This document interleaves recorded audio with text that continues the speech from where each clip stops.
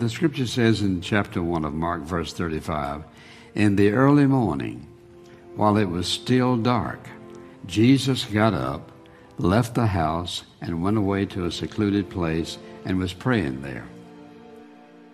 Jesus began his day alone with God. How many times have I mentioned that to you about starting the day with prayer and getting alone, having a quiet time?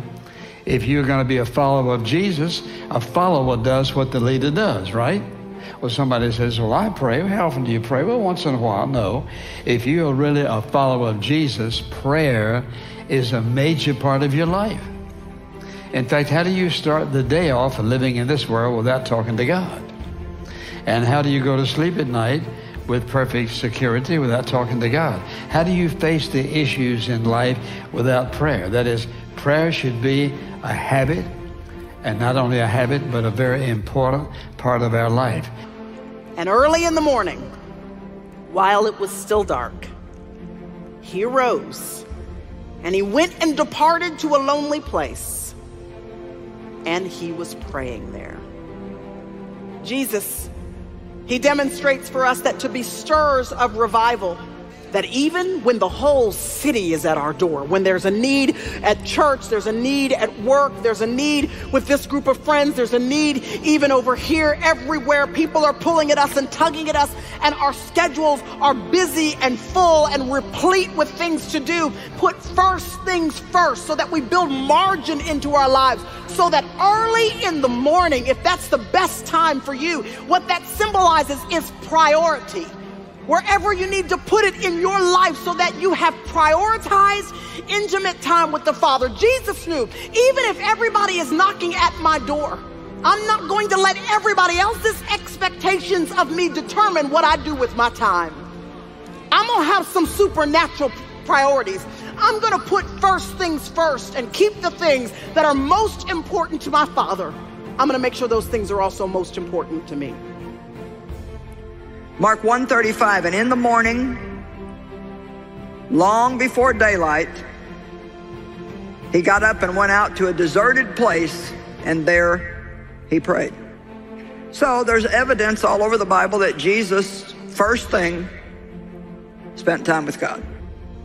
And so, why was Jesus up early? As the Bible reminds us in several places, up early before day, because Jesus, the Son of God, knew that he needed that time to be alone with his Heavenly Father to listen to the Father. All of us, none of us are in such a situation that we are so complete within ourselves that we don't need God's direction. All of us need to take time to listen to God. If I start my day with God, He stays in the front of my mind all day. It's like a continuing conversation that gets started. It lets God set the agenda. It's let, it lets Him set the, the pace. It puts God in control if I start just by giving the, the first part of my day to Him. Somebody once said that God is your commander in chief, so don't forget your daily briefing. You have to slow down because God is never in a hurry. And you can't hear God's voice if you're just rushing all the time. You have to slow down to hear what he wants to say to you. That's why you have to get up a little bit earlier so you're not just rushing into your day and you don't have time. So you just find a quiet place, you grab your Bible, maybe a journal, get a cup of coffee or tea or whatever you, you want in the morning, and just go spend a few minutes with the Lord. Here's what Jesus said about it in Matthew 6. He said, Here's what I want you to do.